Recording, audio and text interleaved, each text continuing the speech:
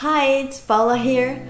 Welcome back to my channel and let's paint together no matter what. In today's video, I'm sharing a winter scenery and the star of it is the elk. You can use it to paint some Christmas cards or even to decorate your house. So, grab your watercolors and brushes and let's dip into the holiday spirit. This is the picture that I'm inspired by to create this painting and here you can see that the color palette is very simple. Just 6 colors and 3 of them are, are left over.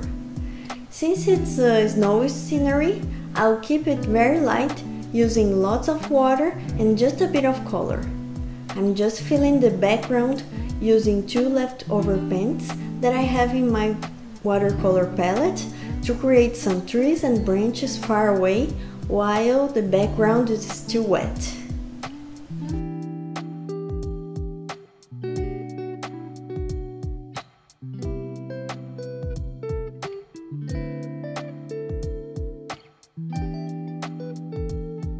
I'm not copying exactly the same colors and element positions. I'm using the picture just as inspiration. You can add more trees or change the position of the elk if you'd like so. Now I'm adding a touch of blue to create snow and adding the same blue on the background to create a cohesive painting.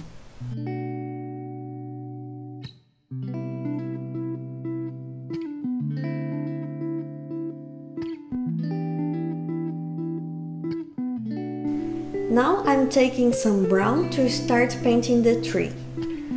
Take your time and fill the trunk and branches varying the hues. It's also time to like this video and subscribe to my channel.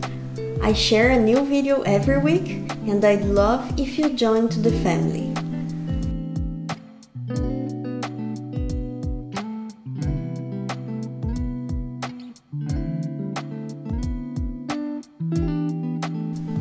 So I'm painting the first layer of the elk, mixing burnt sienna and dark gray just to create a nice base and then I will start adding little by little the details. It's important to look at the reference picture because you can see that are areas that are very light like the elk's face and there are others that are very dark like the belly and legs. I have to say that I truly believe that the first step of drawing or painting is observing. Take your time to analyze what you want to paint. You need to train your eye to interpret what you see and just after this, start your sketch. By observing carefully, you'll be used to identify the best compositions and with some practice, you'll be able to create your own. If you want to see more about my paintings, head to my Instagram watercolor by Paula and follow me there. I share lots of flower paintings, art supplies and also painting process videos. I'll leave the link for my social media in the description box along with the link for the reference picture that I took from, from Pinterest.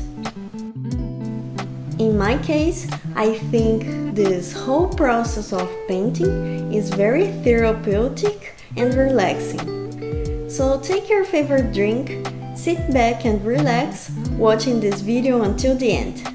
Enjoy!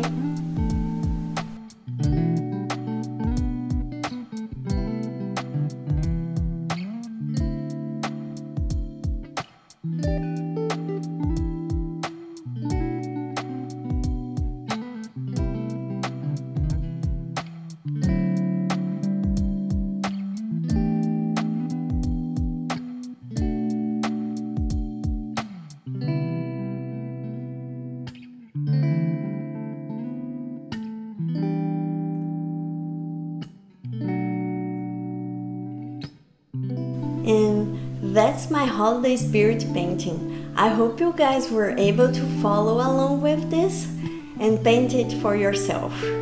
If you try this, tag me on my Instagram watercolor by Paula and I will share it in my stories. Don't forget to like this video and subscribe to my channel and stay tuned by tapping the notification bell so you'll know every time I upload a new video. Thanks for watching and I'll see you guys in my next video. Bye!